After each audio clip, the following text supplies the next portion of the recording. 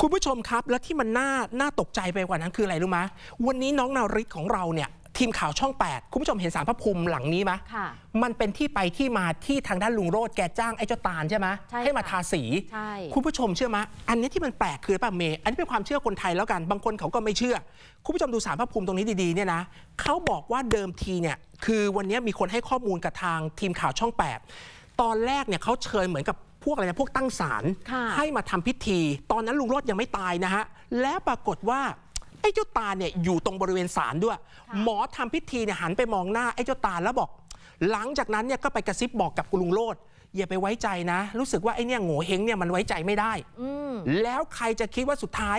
ฆ่าฝังดินจริง ๆ ยิ่งไปกว่านั้นวันนี้ตอนที่น้องนาริศไปดูตรงสารพระภูมิคุณผู้ชมฮะ เราไปเจอกับคุณบีคนในหอ คุณบีก็บอกว่าเจ้าตาลเนี่ยเป็นคนที่เก็บตัวเงียบไม่สูงสิงกับใคร และที่สำคัญก็คือก่อน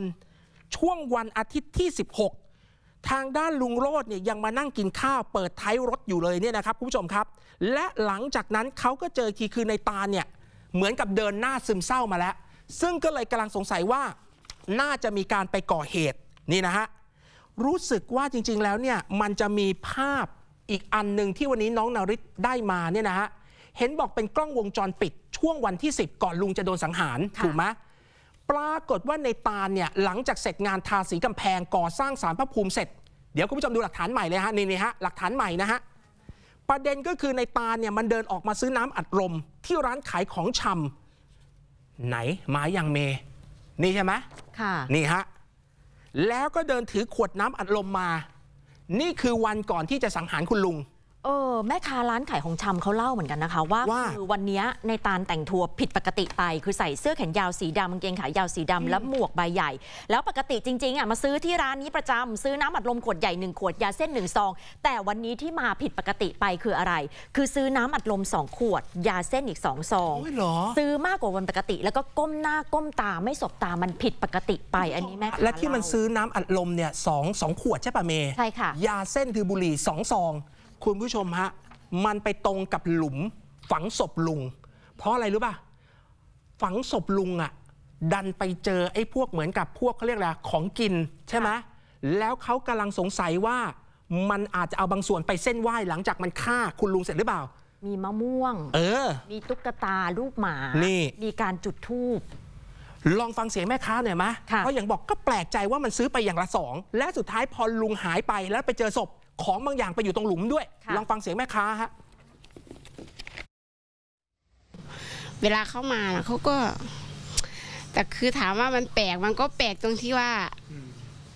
พอเข้ามาปุ๊บใช่ไหมคือเข้ามาแบบเงียบๆเราก็อยู่ครัว แล้วก็เดินมา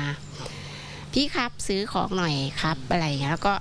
ก็มายืนตรงนี้แหละ แต่ก็ส่องดูว่า เออว่าใครอย่างเงี้ย แล้วเขาก็มาหยิบยาเส้นน่ะสองห่อแล้วเราก็ยังถามว่า เอ้าวันนี้ทำไมซื้อเยอะอะไรอย่างเงี้ย ปกติก็จะซื้อวันละห่อใส่หมวกเนาะก็คือแบบถามว่าหลบไหมก็คือแบบมาเงียบๆอย่างเงี้ย คือก้มหน้า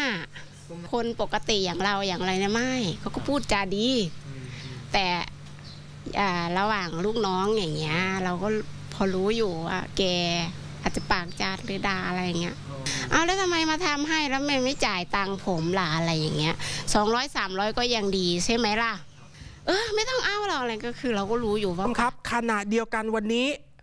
เมื่อกี้เนี่ยที่ทางพี่ๆของชาวบ้านบอกกับเราว่าที่มันฆ่าในายจ้างเนี่ยมันเป็นไปได้ไหมในายจ้างไปเตือนมาว่าห้องนอนมันสกปรกรกปรากฏว่าทีมข่าวช่อง 8 เราเข้าไปในหอที่ในตาลนอน ดูความสกปรกซกมกจริงไหมตามที่เขาบอกอ้าวลองนี่ฮะอ๋อต้องเบอร์ขวดเหล้าดูนะฮะเราเป็นนายจ้างเราจะเตือนลูกจ้างไหมว่าเองนอนยังไงอะดูนะฮะ นี่แทบจะไม่มีที่นอนเลยนะมีแต่ขยะ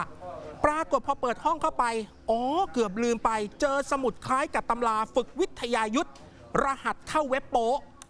มีด้วยเหรอฮะ วิทยายุทธไหนทีมงานลองเปิดภาพขึ้นมาหน่อย มันเป็นเหมือนรหัสธาตุอะค่ะพี่พุทธ